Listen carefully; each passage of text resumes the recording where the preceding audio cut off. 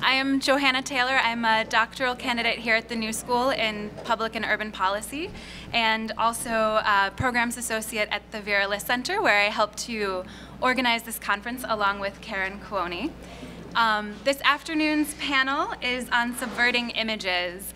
Um, as Karen mentioned at the opening of the first panel, um, each of the today's panels reference the themes that are represented in the exhibition that we currently have at Aronson Galleries at the Sheila J. Johnson Design Center at Parsons, just a block away. Um, so you have the privilege of hearing others talk about this idea of subverting images, and then we invite you to go to the gallery and see a collection of Abounaddara films that are doing just that. Um, the gallery is open today until 6. And then tomorrow we have special conference hours that will be open from 11 until 6 p.m. again. So we invite you to visit us there. Um, so for Abounaddara's work, appropriating and recontextualizing images is a key tactic. They also do the same with sound as well as images, and they use this tactic to layer deeper meanings within their work. Today we are honored to have three panelists and a moderator um, discussing these ideas with you. Um, we have Peggy Ahwesh, who is a filmmaker herself and also professor of film and electronic arts at Bard College, as well as Kader Attia, who is an artist. David Levi Strauss, who is chair of the graduate program in art writing at the School of Visual Arts in New York, as well as Christiane Paul, who is here at the New School and is Associate Professor of Media Studies. Similarly to the last panel, we will begin with a two Abounaddara shorts.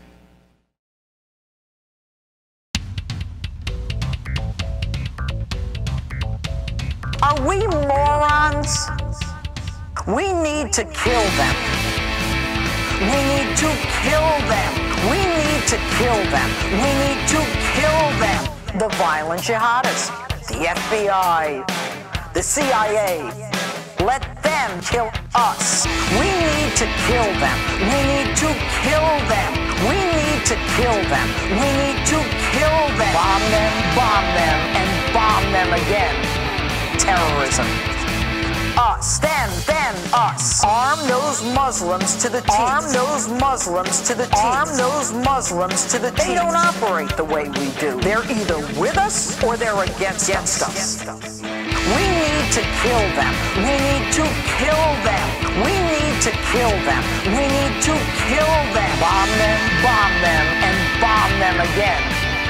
They call us Islamophobes, hundreds of thousands of innocents killed in the Middle East. Allah Akbar. Now, I've been telling you for a year that they're coming for us, that there is a reverse crusade in progress. The Christian genocide. We need to kill them. We need to kill them. We need to kill them. We need to kill them. Bomb them, bomb them, and bomb them again. Terrorism our own destruction. We need to kill them. We need to kill them. We need to kill them. We need to kill them. Bomb them, bomb them, and bomb them again. Terrorism will be the death of us.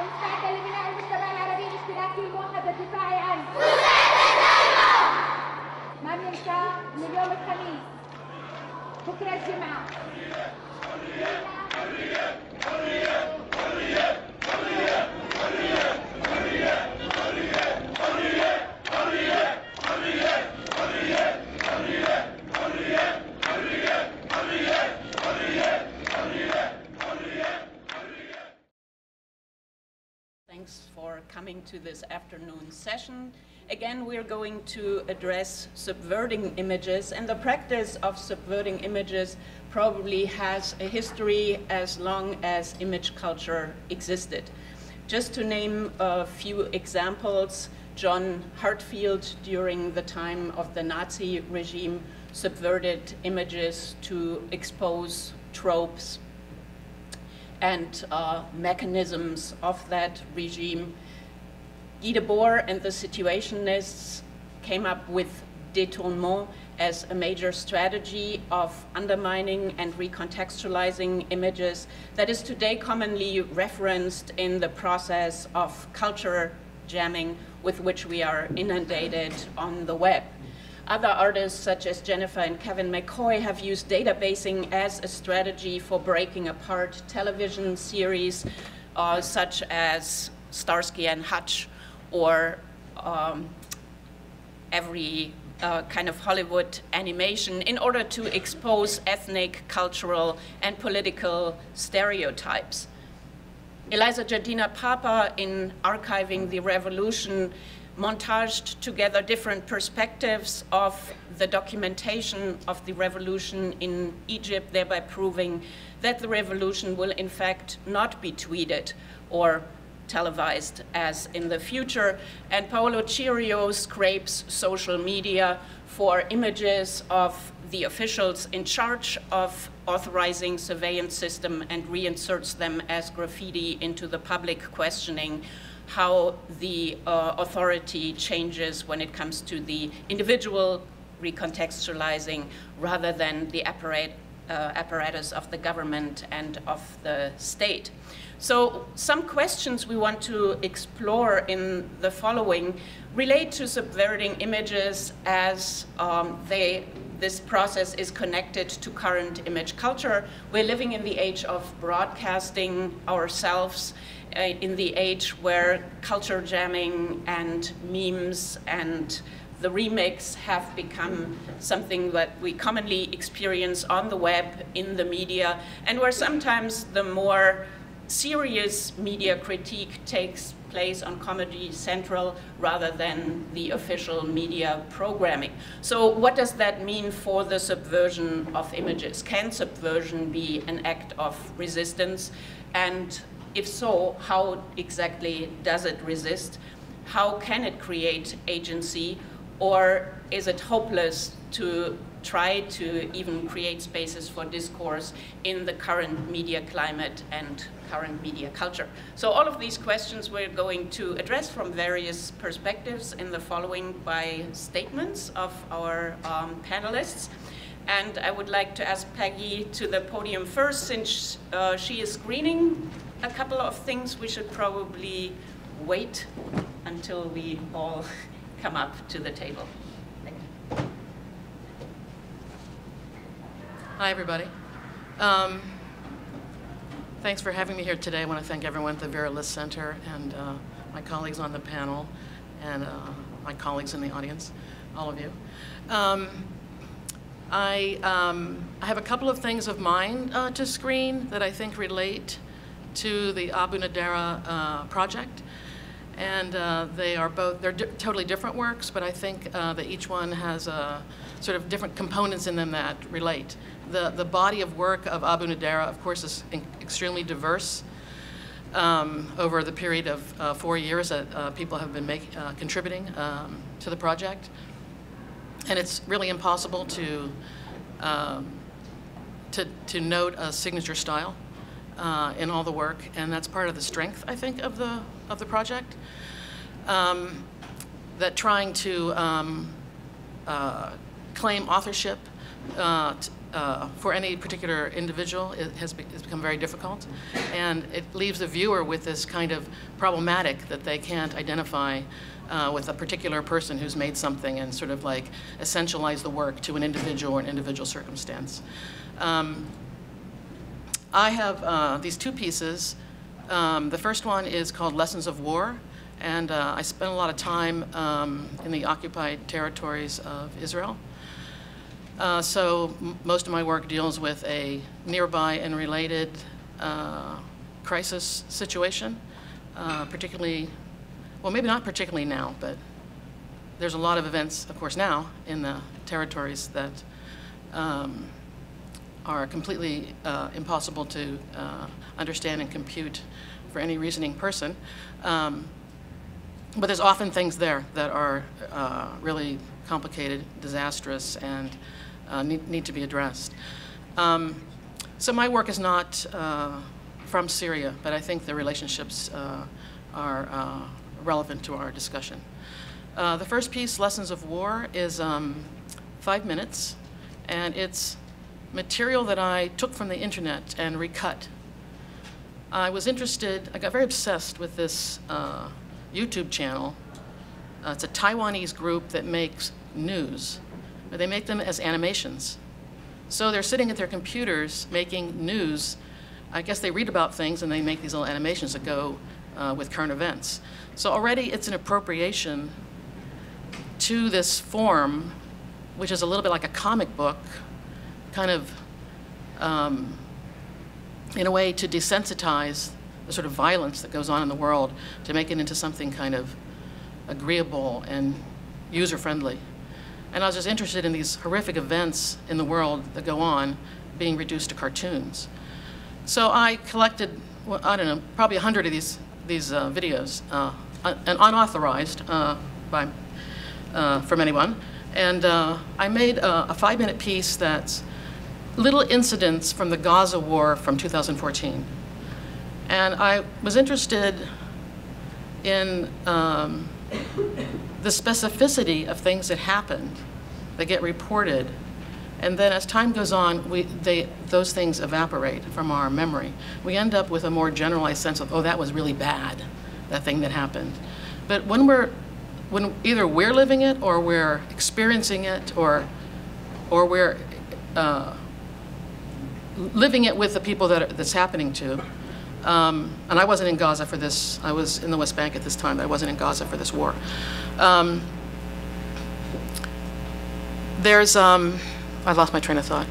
Um, I was interested in holding on to the experience and, and memorializing these different things that happened, but also sort of investigating these issues of forgetfulness, being able to forget, you know, the, gr the gracefulness of being able to forget, the uh, stubbornness of remembering, um, the necessity to remember, uh, forgiveness and forgetting, and, and remembering so things don't recur. So that was my motivation for this piece. And it's these five little episodes. Originally, I showed it as part of an installation with all kinds of different works, but um, and then I, I, would like to show after that perhaps this uh, an Abounaddara piece called The Sniper, if we can bring it up, because it relates really specifically to this piece.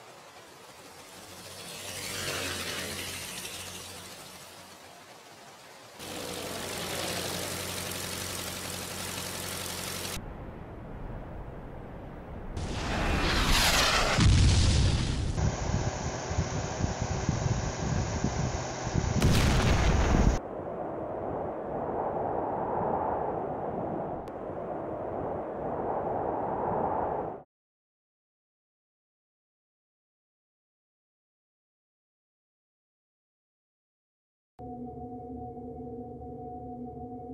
you.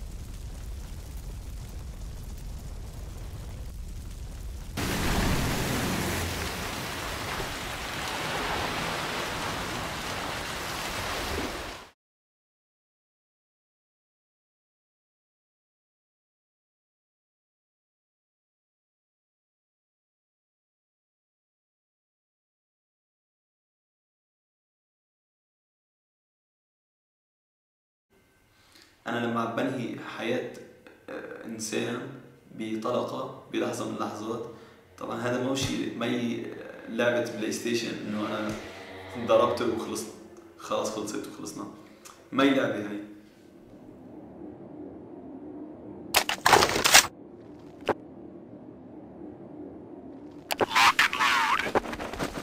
هدول اللي عم يتحركوا الجنود اللي عم يتحركوا في ال- بالمناطق بين المباني وكذا. إذا هدول ما قنصتهم أنا فهن بالمقابل هن نفسهم اللي بده يقتحموا علي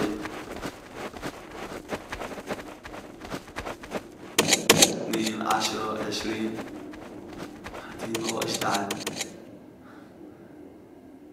أربعمية خمسمية ستمية واحد. كتير يعني. يعني بعدي علي أيام مثلا بإقتحام ممكن مثلا أقنص.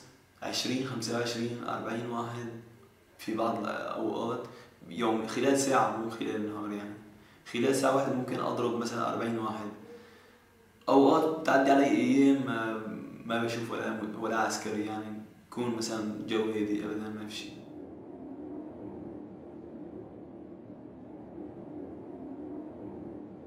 هلأ اللي عم بخلي مثلا مشاعر تتحرك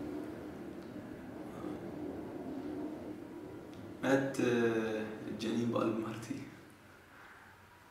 خلاني أبكي.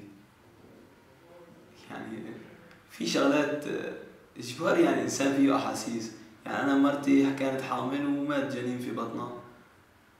بكيت ما هو بإيدي يعني. إنسان ضل يعني شو قد من كان ضل إنسان. ضل فيه اجباري بده يحس. إذا ما حس فهو صار ماكينة صار آلة ما هو إنسان معناته. بس إجبار الإنسان يضل حسان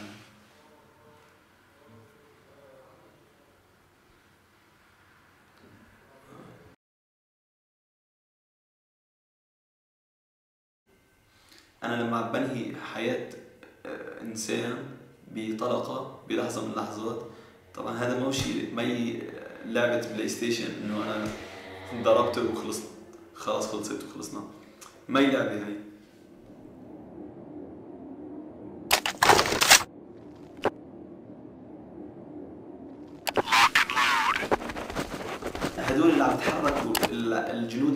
يتحركوا في ال- بالمناطق بين المباني وكذا. إذا هدول ما قنصتهم أنا فهن بالمقابل هن نفسهم اللي بده يقتحموا علي اثنين عشرة عشرين. هو اشتعل أربعمية خمسمية ستمية واحد. كتير يعني. يعني بعدي علي أيام مثلا بإقتحام ممكن مثلا أقنص عشرين خمسة وعشرين أربعين واحد في بعض الأوقات يوم خلال ساعة مو خلال النهار يعني. خلال ساعة واحدة ممكن أضرب مثلا أربعين واحد. أوقات بتعدي علي أيام ما, بشوف ولا ولا عسكري يعني. بكون مثلا جو هادي أبدا ما في شيء.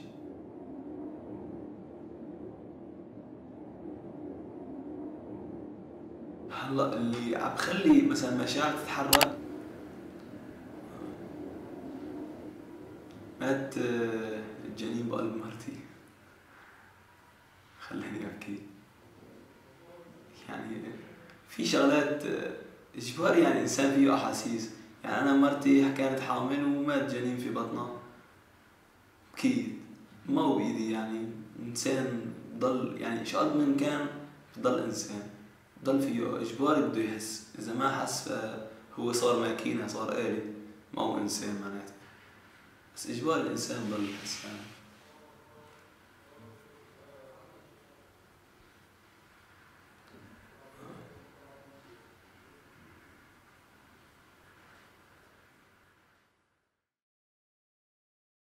I think that piece, um, well, it's pretty amazing, and I think it. There's a confessional of the with the you know in terms of the performance of this soldier. Um, he's bragging. He may or may not be telling the truth. I killed 400, 500, 600 guys. I mean, you don't know whether it's fictional or not fictional. And then it's supplemented with a fictional space, which is a game space, where a lot of other kind of bragging goes on, and maybe techniques of maneuvering and uh, prowess with shooting, these kinds of things get practiced and rehearsed there. But also the video itself seems like a bit of a rehearsal of the, of the performance. It's a very complicated text, and we don't know about this person. Uh, do, we know, do we even know who he's fighting with? I'm not sure. I'm assuming he's a sniper for the government, for the um, al-Assad government, but we don't really know. Uh, oh, he's saying no. You're saying no? Shit. Um, uh, okay. anyway, there's so many questions that the piece raises that are, that are brilliant, really. For me, strategically, uh, for an artist to present uh, a work that has so many layers to it and does not spoon feed you the answers, I think is quite interesting. So maybe other people uh, figured out other things about it uh, that they, to, sorry. um, maybe other people in the audience have figured out other things that they notice about it. And you know, there's so many layers to it. I think, I think it's really a captivating work. I mean, in some ways, I feel for him. He lost a child, but the balance between losing the child and then his professional life as a sniper. is just like somewhat incomprehensible to me. Um, his, his willingness to speak and be vulnerable as a father was also incredibly compelling to me. Um, should I move, show the other little piece, or should I? I've done my time, basically. Okay. Um, I'm going to show this one other uh, piece of mine. Uh, it's a, a, section from a movie called Neither Day Nor Night. And it's a 25 minute video. I'm just going to show like a four minute clip from the center. And it's footage that I shot. I think of this in some ways as a, a, a an Abounaddara strategy. I was, um, I film a lot of uh, sort of everyday events, just people out and about, uh, locations, situations, uh, almost as a ethnographic pr practice, perhaps, or um, uh, observational practice. And I um, spend some, uh, a lot of my time when I'm in the West Bank is with film students because I teach uh, at a program there with film students. So we go out and we go out and shoot stuff. So I made this piece, which is a very hybrid, non-narrative piece that actually maybe combines into its own story. Um, uh, eventually as you watch the piece, and it's, it's the, the, linkages are not quite obvious in a narrative way, but it's a, a, a piece uh, that I made that's kind of about uh, Palestinian life and um, the sort of entrapment uh, situation that people were in under the ongoing occupation. And I consciously did not shoot violent things or the obvious stereotypical things that you see in the papers which is also a very Abounaddara strategy to sort of avoid those things because they're already so overly determined. So I have this other uh, quality to the film, which I hope over the length of it you get a sense of life there. And this section is, um, uh, they're constructing a mosque. It, there's a mosque under construction. That's the first images you see. And uh, it's actually right near uh, a settlement, Bet El. It's on the edge of that and it's this monstrous mosque that to, to take up a huge amount of space and to claim to claim that hilltop.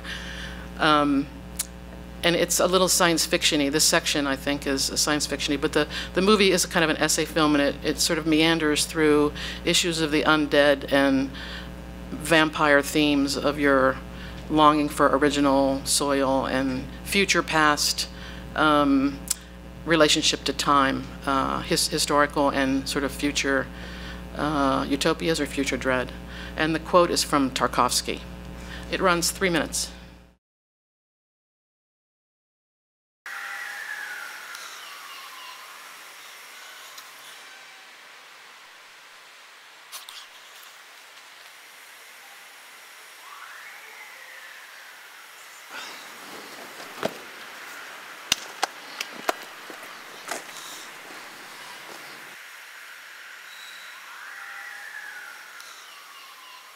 We do not move in one direction, rather do we wander back and forth, turning now this way and now that. We go back on our own tracks. Flying saucers, humanoids, and the remains of unbelievably advanced technology that are found in some ancient ruins. They write about aliens, but I think that in these phenomena we are in fact confronting ourselves, that is, our future, our descendants who are actually traveling in time.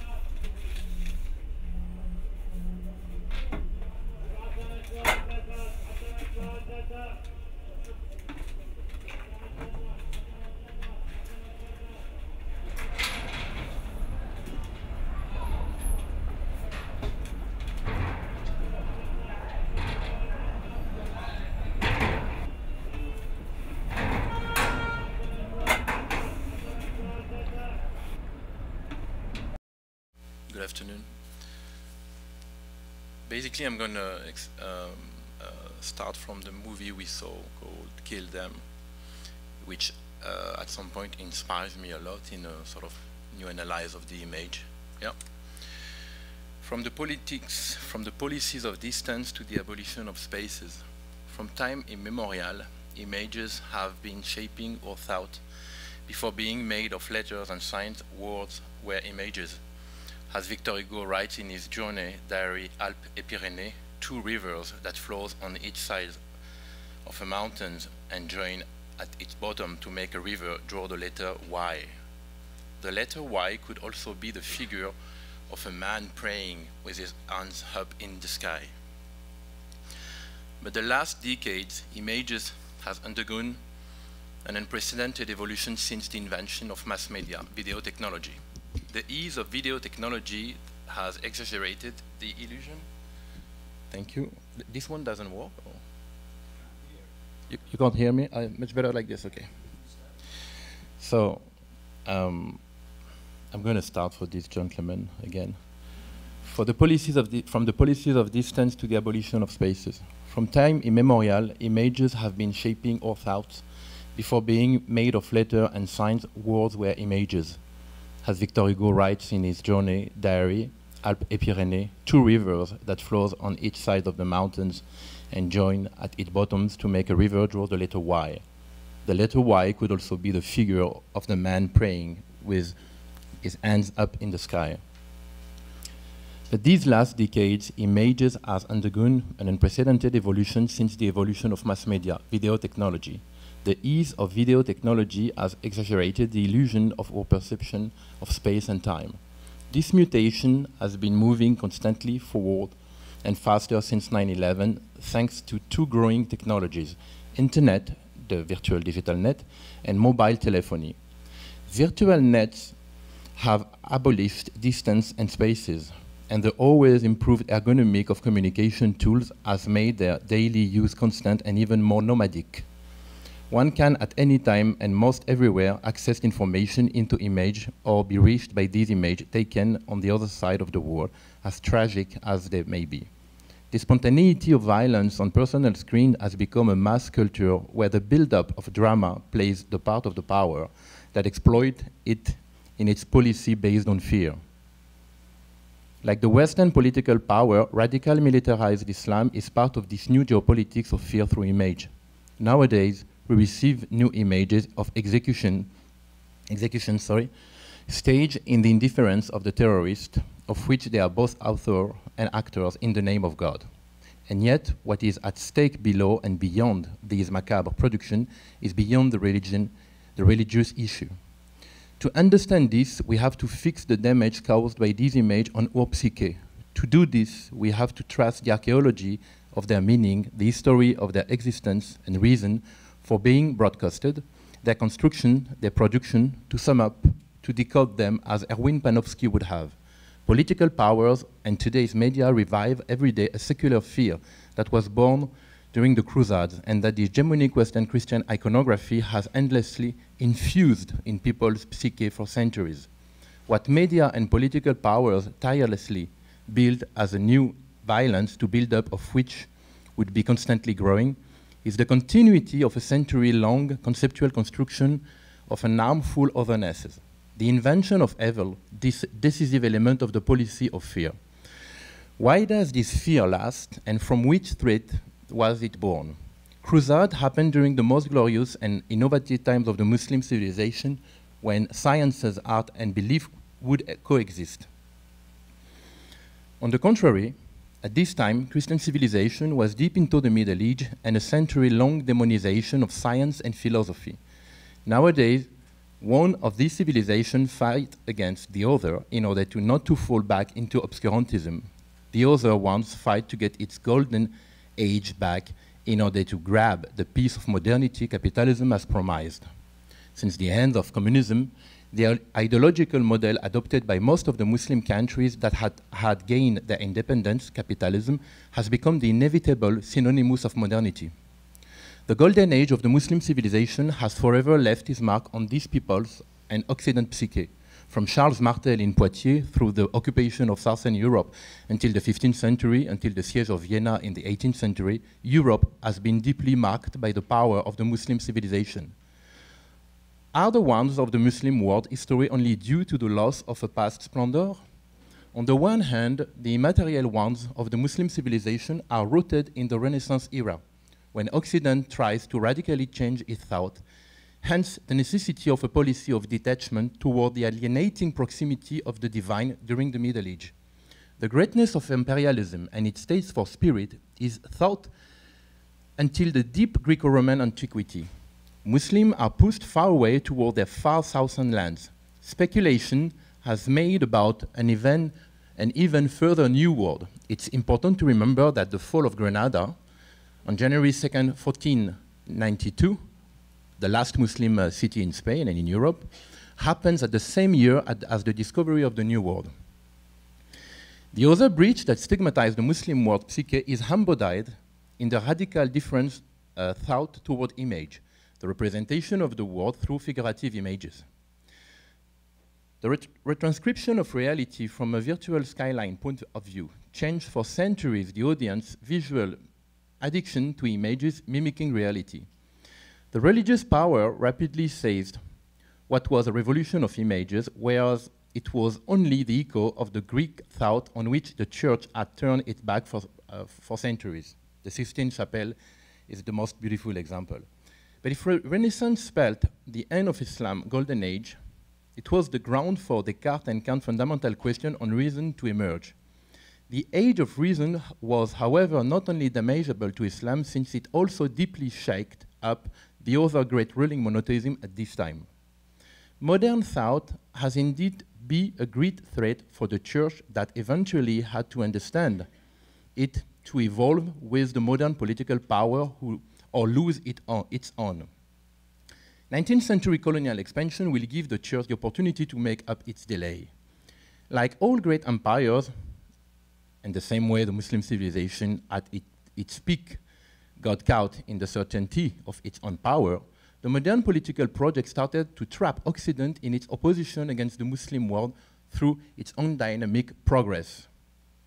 As the Senegalese philosopher Souleymane Bachir Diagne described very well, the modernization of public transportation in West Africa has helped the penetration of Islam in regions which it had never reached before.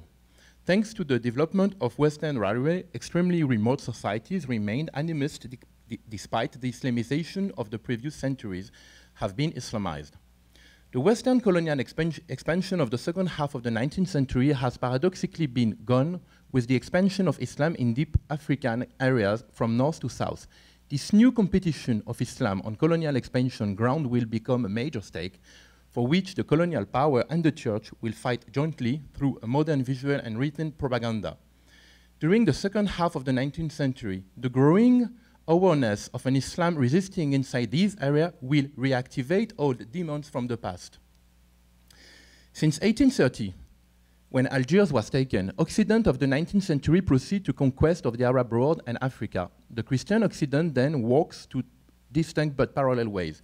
On the one hand, religion, and the other hand, modernity, or shall I say modernities, each European nation pursued its intellectual and political pr modern project. France, as the universal administrator of reason, accompanied by church, the British Crown's deeply capitalist and Anglican, will, contrary to the French, integrate local elites in almost each administration of its colony. If each European country has a different specific project, a common denominator appears, however, the representation of the other and the origin, then the organization of this representation that historian has named uh, named Orientalism.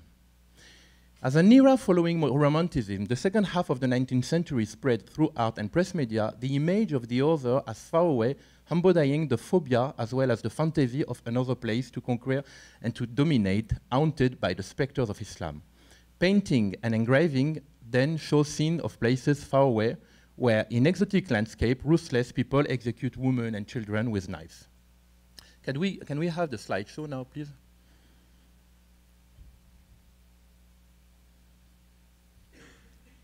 During the 19th century, and particularly during the, its second half, the treatment of information through images underwent a huge upheaval. The Industrial Revolution and numerous technological progresses that came with it wave, sorry, that came with it have made an always faster distribution of the information possible. A little bit slower, please. And what first belonged to the field of poetry, stories, paintings, salons, ended up to be trivialized on newspapers' front pages, going from one hand to the other. The outburst in the distribution of press of that time in something new that can only be compared to the larger distribution of the Bible allowed to Gutenberg's invention. The impact here, the impact it had on population, well read or not, can be compared to the revolution of virtual digital communication nets. In these three cases, the invention of printing, the outbreak of written press, and the revolution of internet, religion, and hegemonic power par, uh, par excellence, has taken advantage of the evolution of these communication tools by image. Today, many images shows Daesh jihadists wearing outfits that reminds us of the past, a distant past when Occident used to fight Mahometan during the Crusade. Why and how do these images frighten us? Because they revive in our psyche that have been themselves reactivated during the 19th century by the outbreak of the press at the end of the Industrial Revolution in all Western European societies that has known the Crusades. Baggy outfits, turbans, swords, long beards, etc., can be found in images of 19th century as well as the 20th century. Daesh soldiers think they dress to their, uh, dress, sorry, and the Daesh soldiers think they dress and their hair like the prophet and his follower when they actually look like characters of Delacroix, Gleyre, Gérôme Vernet, or Géricault paintings depicting massacre, slave traders, ruthless sultans, and everything that was used by the sensational press of the second part of the 20th century to keep promoting the benefits of the colonial expansion. The visual game Daesh plays is the one Occident gave them through the Orientalism. Occident has Orientalized Orient, thus spoke Edward Said in his essay Orientalism. Daesh is trapped in its own ignorance of the representative code of original Islam, but Occident is also caught up in its obsession for progress the techniques used to produce Daesh images of execution are as good as the one used in the Western movie industry. The only thing is that when Daesh thinks they are true to the Prophet tradition and to past value, they are, on the contrary, definitively, definitively modern. But if Daesh is wrong, so is the Occident. Because Daesh is only reappropriating the caricatural image of Islam constantly shaped by the Occident since the Crusade and spread toward Western and non-Western population. The second trap in which Occident has fallen is to see the members of this cult only as mindless and thirsty blood, despite their ability to learn very fast. The Occident has already lost one battle against Daesh, the policy of distance. For centuries since the Renaissance, the Occident and its project have focused on distant spaces, on the conquest of a new world, on colonization, on the mythology of Orientalism. Today, these policies of distance has fallen apart. Daesh has understood this very well and used it cleverly. Technological progress now allow us to be informed by images of events that take place in areas that used to be far away and that pop up on all screen, so on all so close screen. This abolition of spaces condemned us to an unbearable proximity so much that the most raw images of violence constantly feed the policy of fear that ruled these two polarized worlds around the issue of modernity. The emotion created by Daesh destruction in, is inherent in the act's immediacy, the, the fundamental factor of which is technology. Without technology, no images, and then no awareness. Daesh, like Islam in the colonial past, takes advantage of the Western technological progress to reappropriate its own images created by the Western colonial psyche, turned it into a weapon and take power where other less radical Muslim forces have failed because of being too focused on the weak image of the suicide martyr since the last five decades. Daesh produce images with so much care in order to terrorize the Occident and recruit always more candidates to the jihad. At the time of abolition of spaces, they will spread it instantly. Orientalist painting has created cliché of representation of appearance as well as violence, used by contemporary radical Islamic like Daesh or Boko Haram that play the stereotype part that Occident has created for them, which they called others, the black savage, the restless Arab, the killer, etc. Daesh answers with images. So now it is important here to, to, to understand and to conclude on, two, on, on, on two facts. how this new geopolitics of image need to be intellectually analyzed. The abolition of space is a matter of distance of perception. What Michel Foucault in his essay, The Order of Things, which starts with a statement on the human perception of things of the universe through three patterns, uh, simulatio, emulatio, and analogio, is uh, state the, the, the way the, the mankind has always been since the classic age, uh, uh, understanding the world through a process that we call, that, that later Immanuel Kant and Descartes will call correlation. Since the classic age, the human mind is reading the universe of things and images through a method that reveals a relation between two fundamental points. points.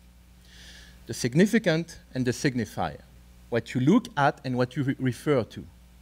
Serge Gruzinski, sociologist and historian who dedicates most of his work on national, sorry, on traditional non-Western cultures from Asia to America, describe this incredible ambivalence between the Western modern Kantian and Cartesian statement of the knowledge and other cultures, traditional cultures, of thinking the universe. What I know about an object comes from the relation that my mind has with this object and or things that share together in a, in a, in a cultural uh, uh loop process. This microphone doesn't know that is a microphone, and me neither. The knowledge of this object, of, the, of this object is up to a relation between this object and my mind.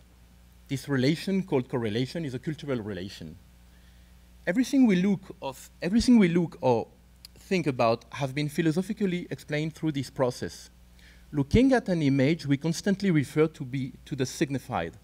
From the policy of the distance to the abolition of space, we are still trapped into this model of significant and signified, unable to believe that the extraordinary machine that is the human brain could be used differently. And this is probably, I mean, I, I will just finish with this conclusion, but what, what is really important here is to understand, as far as I'm concerned, how much in this so narrow space of image appreciation, we need to learn a new way to read images. Be we have to be able to go out of this dogma of the significant and the signified. I think what I like very much also in, in the Abounaddara project is most of the time they are trying to build a new, I would say, interest on images and on the situation, far away from the cliche of the violence and of, the, of, of, of what I, I mean, of, of the archaeology I'm doing here of this contemporary violence that for me the film Kill Them is exactly um, uh, showing. Very clever so traditional societies like the Incas or the Azteca or the Dogon, who put the astronomy in the center of their cosmogonies, and were using other model of thinking, are fascinating example based on a continuum between the thing and the rest of the universe. There was no rupture between the significant and the signified as the object and what it could refer to was part of the continuum, where no border between the material and the immaterial could be possible. In monotheism religions, the book has an object or a written text, is the significant and God the signified. When Serge Gruzinski observed in an Aztecan codex the representation of corn, a piece of, uh, of maize, he actually understood that corn and human flesh means the same, especially within ritual and sacri sacrifice. Because during ceremony, the Azteca were eating human flesh. But absence of border between corn and human flesh do also exist between human flesh and other images. Could they be mountains, wind, sand, or flower? And therefore, also the person who is doing this drawing, as well, or these, these sculptures, as well as the people who look at them. The continuity between meanings of images from the real to the immaterial as a complex fractal systems structuring the mankind intellect and psyche dear to Claude Lévi-Strauss' uh, structuralism agenda, is probably the most important territory of the mind we have lost because of the hegemonic relation monotheism and capitalism involved in the, in the pretext of modernization and its main motor, the progress, has always been seen as a unique system of thought. What really struck me in, the, in, in, in, in, in, this proximity of images and um, and, uh, and less, I mean, an abolition of spaces nowadays is that though these call a new way of, of, of a new relation with, with images, a new way to build images, therefore to think them, we still applied a classic, modern model of thinking on them. Thank you very much. I just have a, a couple of things that I want to say before we get to the discussion. Um, I haven't seen all of the Ab- films, but I've seen 30 or 40 of them. Uh, and what comes across as I see more and more of them is a terrifying sense of foreboding of violence that comes from the erosion of trust among groups that comes with the breakdown of civil society how hatred and division creeps into daily life. This fracturing of society into antagonistic groups, the fostering of divisions, and the hatred of difference that lies just under the surface.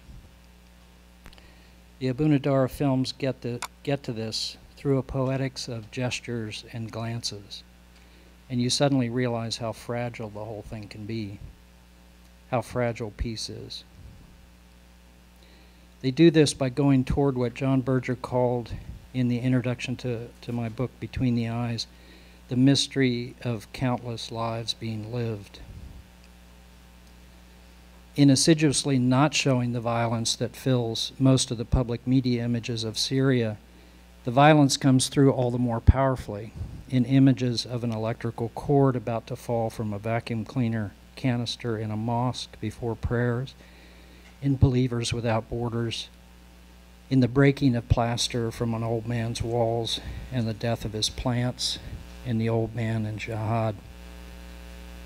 For someone outside of Syria who doesn't know all the social codes and nuances, these things seep in and build up over time. They found a way to picture the terror in the edges of things as things fall apart. It reminds me of how Claude Lanzmann gets to the terror in his Shoah interviews. And these films become a part of films made in wartime. It is unfortunately a long history. You see the small tears in the social fabric that get larger as things unravel. That sideways glance of the young girl in uniform in Vanguards that we saw earlier of superiority and contempt mixed with fear. These kinds of images may be more, e even more insistent prompts to action than the kinds of images that are usually projected in public media of violence and its aftermath, because these show things that are already done, so there's nothing we need to do. This is a feature of uh, of public media rhetoric um, that it that I came to recently that they often depict things that are finished so that it takes the burden off of us of uh, having to do anything about it. These short films are different than the still photographs of Aylan Kurdi lying dead on a beach in Turkey in which the damage is already done and there's nothing for us to do. It makes sense to do this in short films, emergency films, bullet films, most only four and a half minutes long, just under the threshold. What's different about these short films, and this is a technical, technological change, is that they are not cinema in the sense of being intended to be seen like this with a group of people on a big screen but by one person at a time on small screens on Vimeo. Because of this, the unraveling of society into antagonistic groups and ultimately into individuals protecting themselves, protecting their individuality, is the strongest part of these films. And it's the dark side of identity politics. It's what's poignant about them, but also terrifying because we can see the disintegration. In fact, we participate in it. It's the spectacle of disintegration. It's the man in the spectacles. These films also show how art works, which is different from how mass media works. This is what sets Abounaddara apart. The man in glasses believes in the power of art. These films are allopathic treatments against the diseases of public images. I'll continue to defend these kinds of public images, as I always have, because I think they also serve a necessary purpose. But I understand how they can act as pathogens. I'm hoping that we can talk more about that.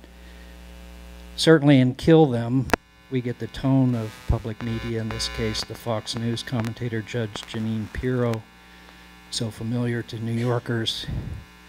This is the former prosecutor, judge, and elected official from New York and Westchester County of Lebanese descent who ran against Hillary Clinton for the Senate, supported by Donald Trump. Um, I think that's good.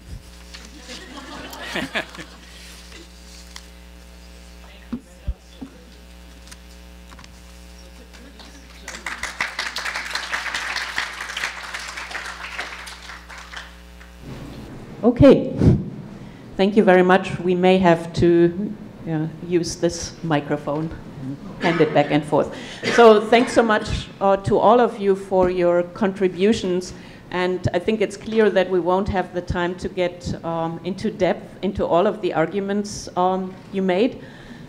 I think it was great that you all contributed, again, different perspectives to what is already a complexity of issues in Abounaddara's uh, videos.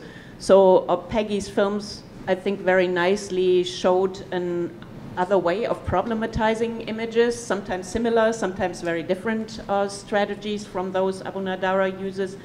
But um, what they counteracted were the normalizing um, effect that images of violence uh, and the political images we encounter in mainstream media very often have. And I would also like to get that more.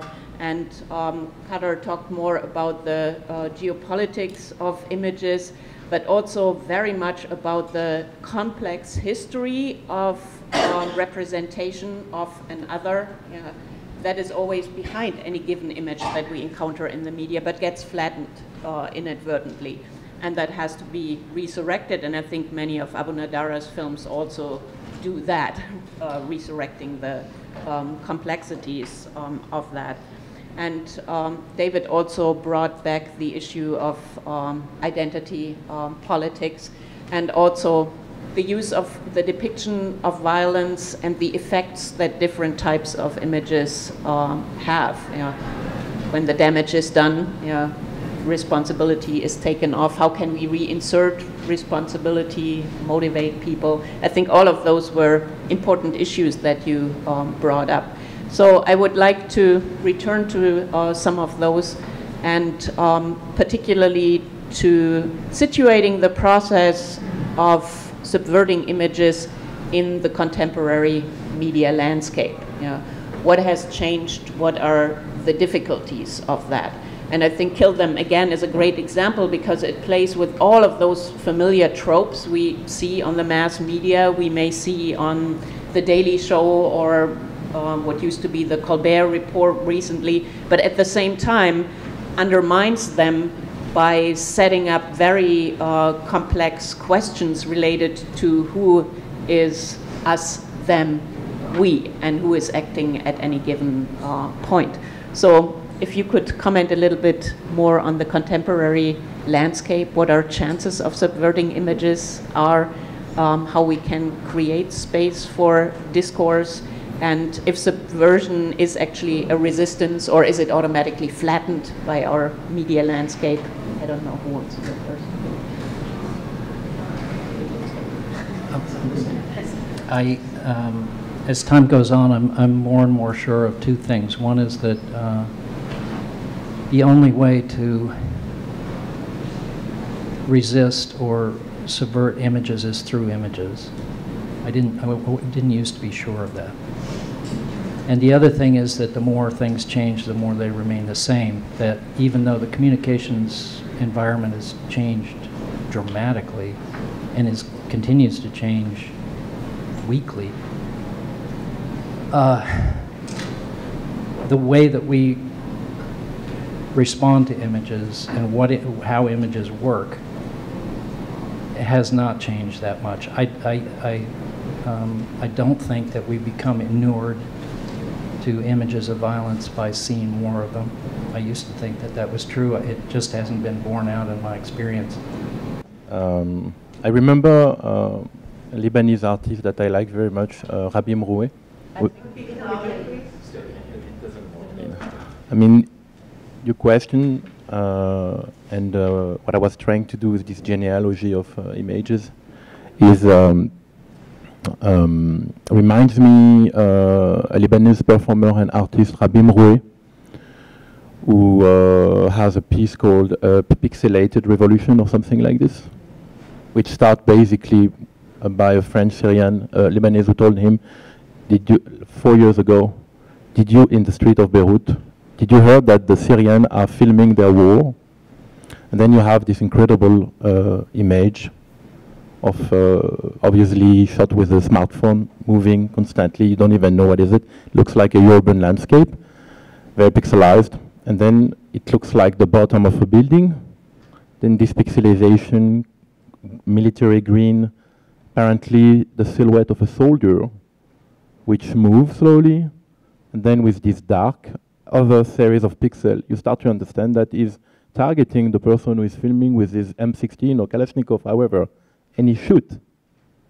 And then the smartphone fall and you hear all the screaming of the people who were with this guy filming. Um, here you have, uh, like in theater in French, we, we, we call the garden, le jardin, la cour et le public. There are three characters in this story, actually. The image, the person who is shooting, and the spectator.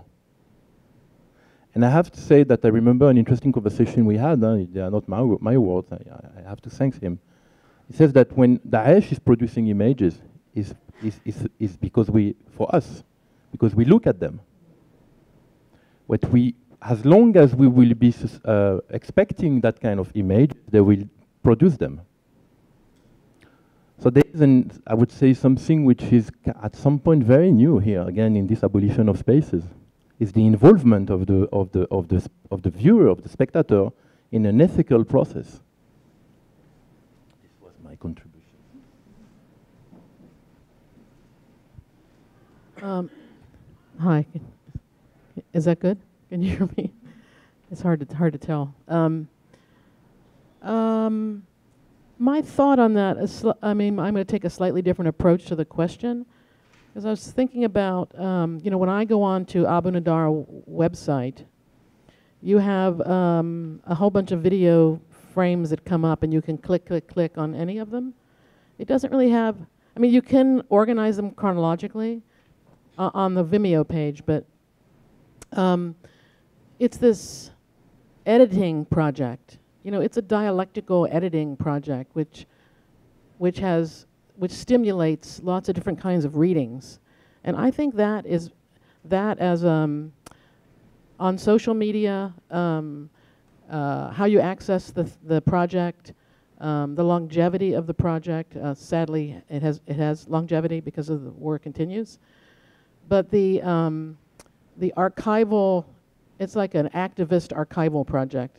And I think that is a very subversive, that as a nonlinear, over time, you know, time-based um, um, uh, system, inventory, network, whatever you want to call it. I think that, um, and that sort of like um, juxtaposition of the, of the short videos um, really makes for a stimulating and subversive read of that material. And you can um, look at it different each time you go on, which I did actually. I, even the process of trying to find a video again that I had looked at before was kind of difficult, and I kind of gave up at a certain point. So the sort of the patterning, the sort of fabric of the videos and how they play, breaks down um, breaks down lots of conventions and lots of sort of assumptions you would have about how you're supposed to follow the story, the story in quotes. And I think um, the subversiveness of the project itself online is one thing, but then also as time goes on, that material as a, a, a foundation for how to rebuild the society is going to be extremely valuable. so it, it, it's going to be something people are going to look at to see how they can rebuild because of these relationships between the anonymous makers and the way the data is online for us to access.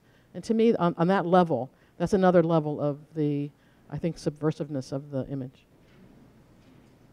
I think that's actually a very um, important point you make that we have to look beyond the singular videos or images um, because as we learned from all of the readings and also from the uh, comments this morning, there is no no single reading. You cannot simply decipher one of the videos. And as the sniper showed, you had a different, you had put the sniper into a different role than he um, actually occupied. And that is precisely the effect that many of the videos have, questioning um, who is who and where people stand. Uh, and again, the identity um, politics and easy assumptions uh, and narratives, which are so um, complex here. So I think this um, the fact that you're pointing to the archival nature of seeing all of these films together and continuing the exploration is extremely um, important. That also raises, again, the question of distribution. Who gets to these images? Um, who sees them and who draws the conclusions from it? I also want to um, come back to your point about collapsing space. I mean, that has been one of the basic assumptions of digital technologies and streaming media. Again, we see um, all of these live broadcasts of the revolutions but at the same time, we also know it's an incredible fallacy, you know, to think like, oh, we're there on, uh, you know, on the battlefield, basically. We know what's going on. No, most of the time we have no clue what's going on, and it's become harder and harder to decipher the groups being involved, which is a question that Abounaddara raises, but not necessarily solves. I mean, and of course they cannot do the job of um, basically doing investigative journalism and getting us um, to that point. But I also, I would like to get a little bit um, more to that, this um, role of space or misassumptions about it. Um, and also, David, if you um, could comment a little bit more on this point of the chances that images today have. Yeah? Uh, I think it's really interesting um, to see which images resonate with people and which ones just fall by the wayside. And um, it's nice to hear that you still have hope in images of um, violence and what um, they can achieve. So, if you could. I was, I was struck in watching Peggy's. Now, now can you hear? Yeah. Uh, in Lessons of War, um, and it made me think about about uh, the other films as well. That um, the the effect of them is very visceral. Actually, uh, I mean, the image that will haunt me uh, for a while is the guy getting stuck in the wall, and it just, uh, I mean, and it seemed like every, and then everything collapsed to that. That's where we're at, stuck halfway in a hole in the wall.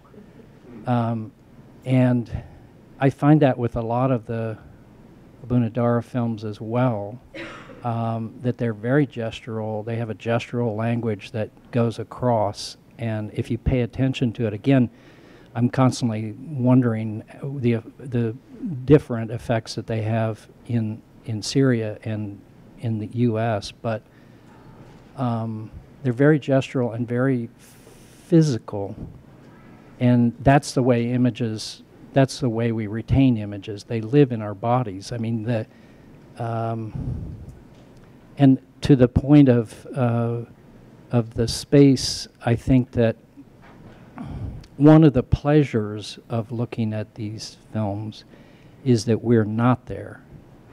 And it's, it's, the, it's, the, it's as how these kinds of images work. I mean, the initial pleasure is that I'm not there.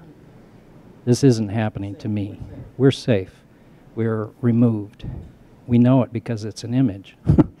um, but uh, but again, it's it, it, we we as long as we're in these bodies with these appendages and th and this going into the brain, um, certain reception of images uh, remains the same no matter what form it takes uh, for delivery, I think.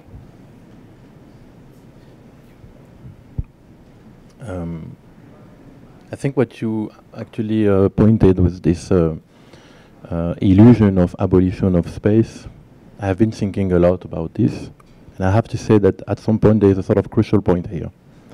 Indeed, when you look at either violent or happiness, uh, everyday, everyday life film that you can find on Abounaddara, this is not the reality. It is an illusion. And the impact that these images uh, have on our psyche are also illusion. They are also immaterial uh, issues, fears, emotion. As far as I'm concerned, I, I, I do think that because the abolition of space is a pure myth of our contemporaneity, I'm trying to understand from which fear, uh, uh, this fear that we all feel about this incredible narrowness, no, is the name. And I have to say that uh, in the coming up digitalization of the world, that probably we will not know, but our descendants in the future, there's a contemporary fear about this. There's a contemporary fear about ag against and, and, and, and because of this incredible powerness of the of the of the technologic uh, uh, production. Let me explain you something.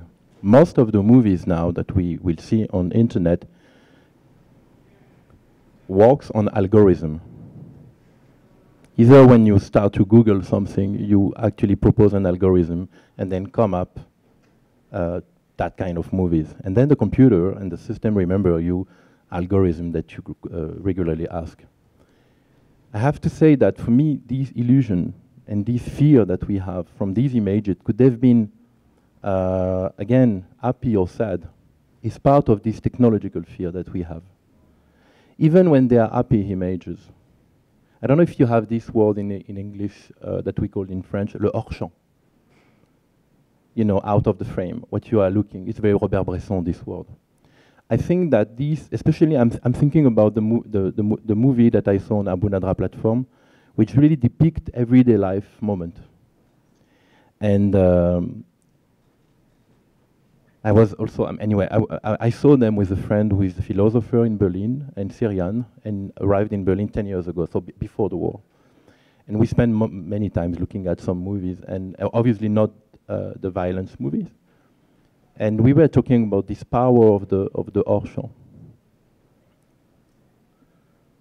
So here again, we are, I think, in something that is purely uh, um, illusion we, and, and, and out of our control, actually. And I think we do, I mean, this incredible technic te technical uh, uh, and powerful ability that the machine has really scared us subconsciously. I mean, this is my. No, that's um, that's really interesting. Um, I just uh, was having this conversation with my students about resolution. A resolution as a technical thing with images, right? We like want high resolution. We're interested in issues of like HD resolution. And there's this connection between surveillance, being able to see things, the, the, the higher resolutions and our ability to hide, our ability to disappear, because everything is so incredibly defined. And so in such a, now, like from analog to digital, it's just like an unbelievable leap in the resolution. And it, it's just interesting, it's so unconscious to people that they think they want more of it. And in some ways, if you were smaller than a pixel and you could disappear, it might be a good thing. like if you could get off the grid or be free in some sense from this idea of resolution. It's, it's, it's, it's interesting. And so it is another like very um, imperial technolo technological aspect of how, well, where we're living, uh, how we're living right now. Um, but I wanted to read this little, I, I, this, uh, this relates. I just wanted to read this quote from Sharif uh, from uh, um, an interview that he did in uh, Beirut, and I, th I just thought it re related.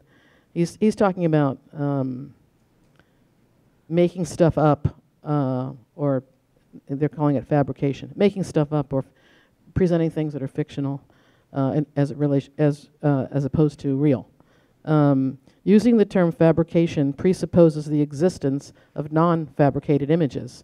When the regime says there is media fabrication, or when the opposition shows images and says, this is the truth, both parties are lying to the public and engendering the assumptions that there is an absolute truth.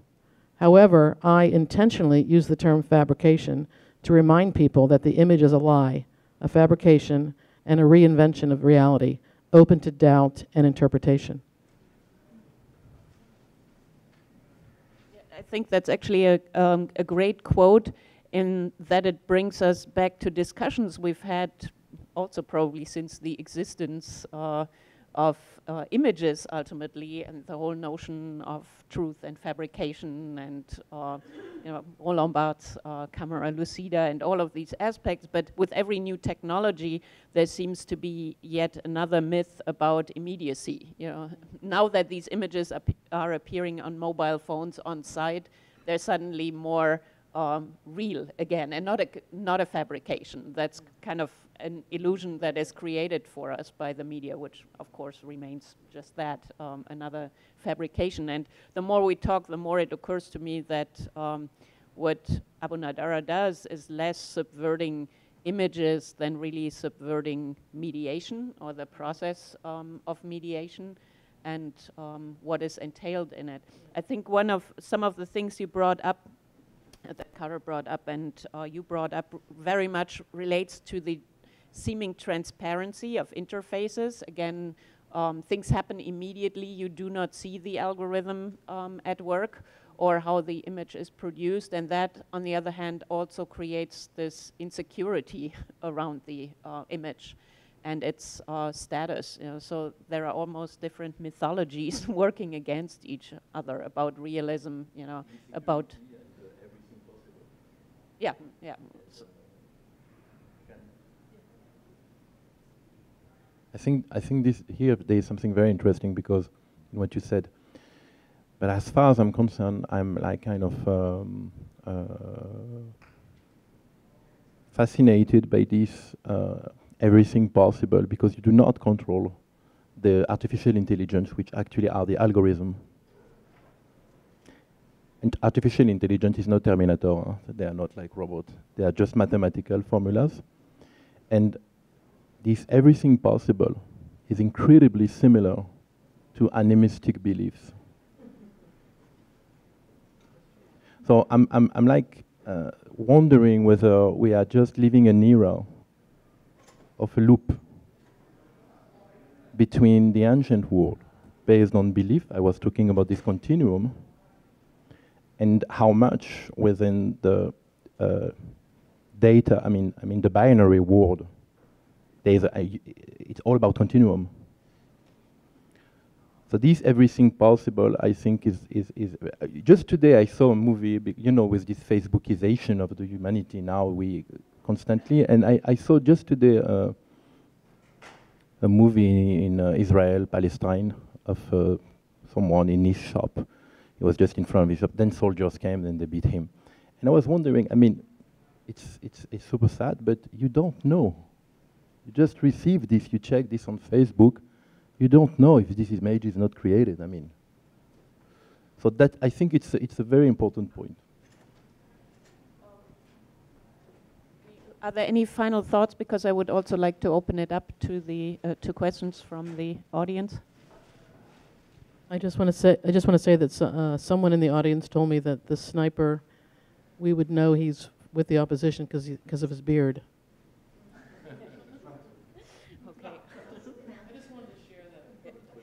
Uh, so let's open it up to questions from the audience, and I know you want to leave a little room, so if you could cut us off, that would be great. Any questions?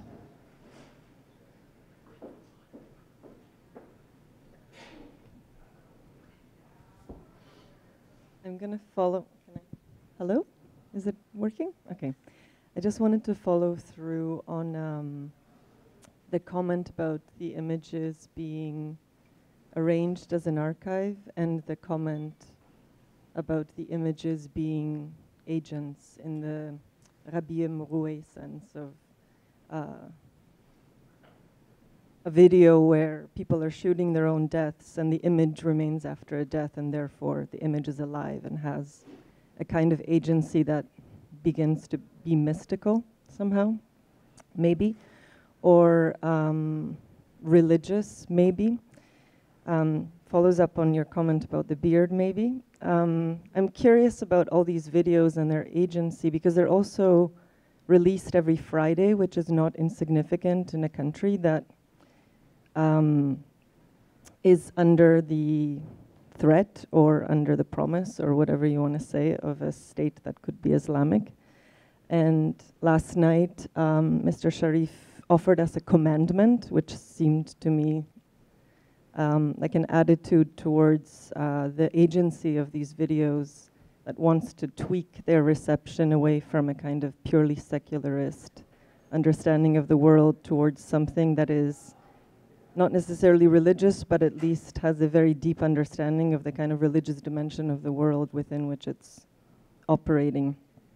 Um, so I just wanted to ask all of you maybe to speak a little bit about um, how you understand that and whether um, that is a complete uh, blind spot in the Western understanding of images at this point in history.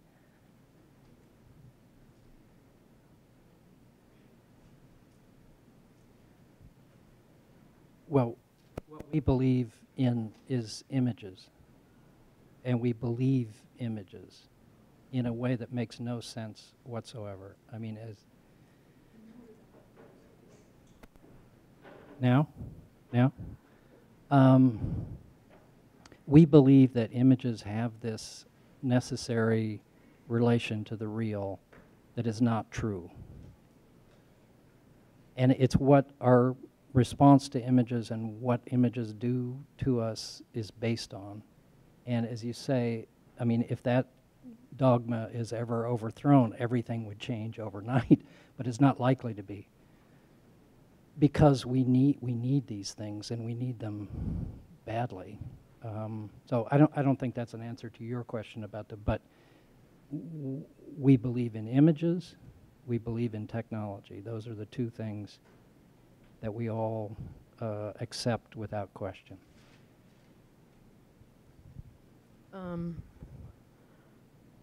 uh, my, my sense of um, a lot of the videos would, um, where people are sitting and talking, you know, to a camera person in their home and they're telling their story, they're very confessional.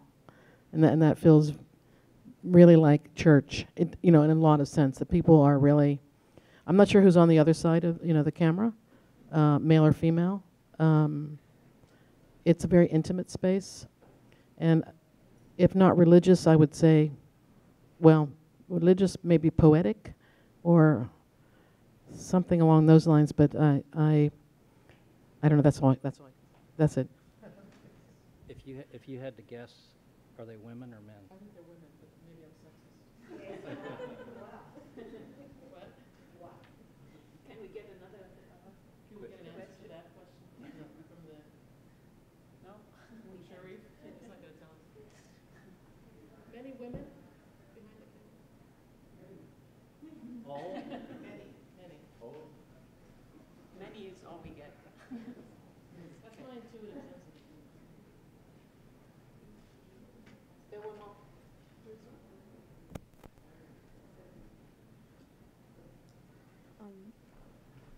David, um, in when you were talking, you referred to images of violence and its aftermath, removing a burden for action, and kind of contrasted that to how Abounaddara um, kind of creates this revealing of you know small tears in a fabric growing larger in this spectacle of disintegration.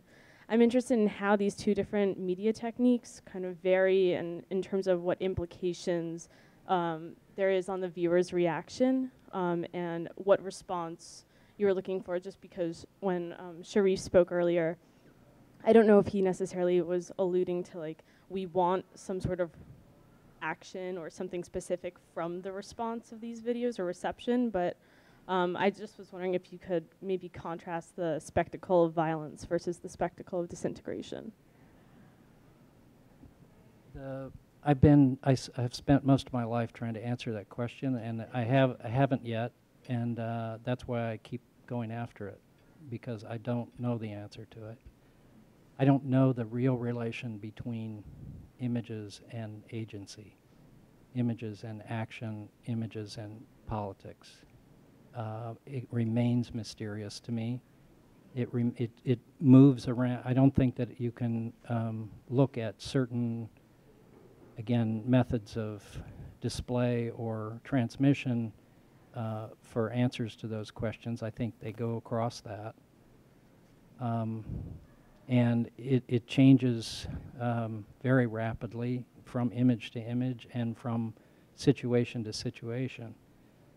Um, but I think it's a, you know, it's a moving target, which is why, why I keep writing about it because I can't answer it. If I could answer it, I could do something else. Um, that's that's where I'm at with it. not that I could answer the question, but uh, maybe there also is no definitive answer to that, and you always have to analyze any specific moment. I mean, in the in the beginning of um, telepresence and the use of gaming technologies in tanks and the images of um, bombings you would see in the in the first Gulf War, um, there was this whole narrative um, around where being you kill by, you know, remote button, responsibility is removed, and that leads to making it an easy kill. And on the other hand, we've um, also seen like incredible attachment via these technologies. People uh, around the world taking care of a garden that is, you know, remotely watered for years, yeah, as a virtual community or people taking care of virtual little creatures. And suddenly there is all that affect and caring via the same technologies. And I think the same goes for images. I mean, their specific context and how they are distributed and how they are experienced will always shape those emotions.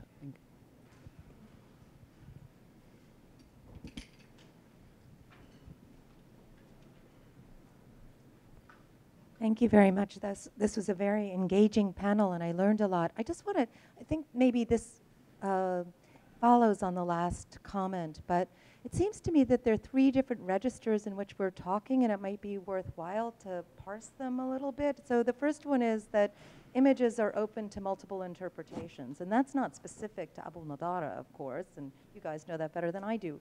Um, then there's the more specific one, which has to do with the epoch we live in, which is uh, one in which there's kind of information awash environment, right?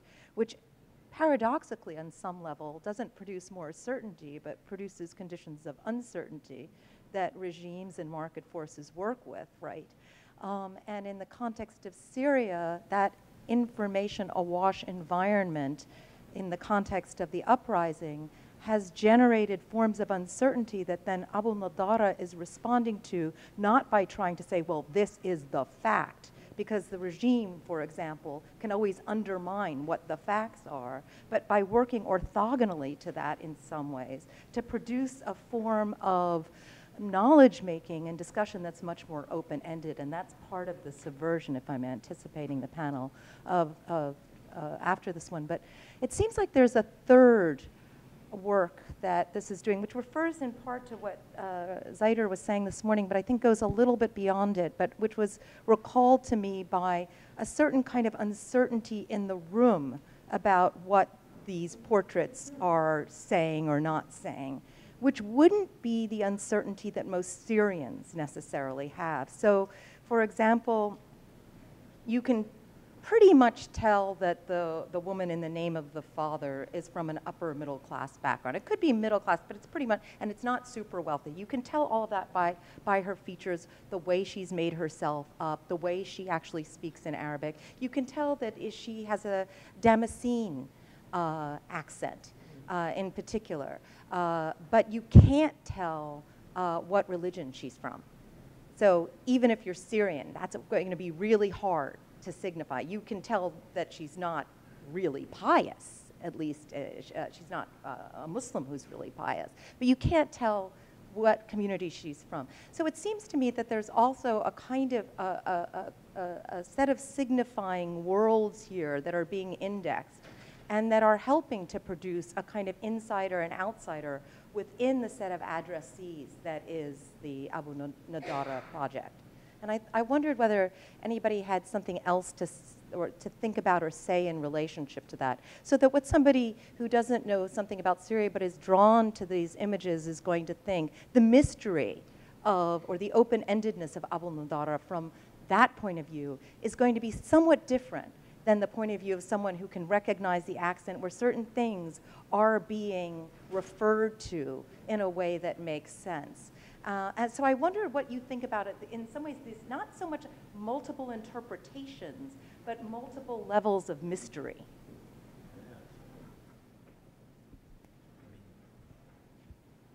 Um, it's not really an answer, but I just continue this very interesting analysis that you gave. Actually, uh, referring to the, as you mentioned at the beginning, um, most of the film that you can see on Abounaddara platform can be seen in everywhere. I mean, not only in the Arab world, in Ukraine, etc.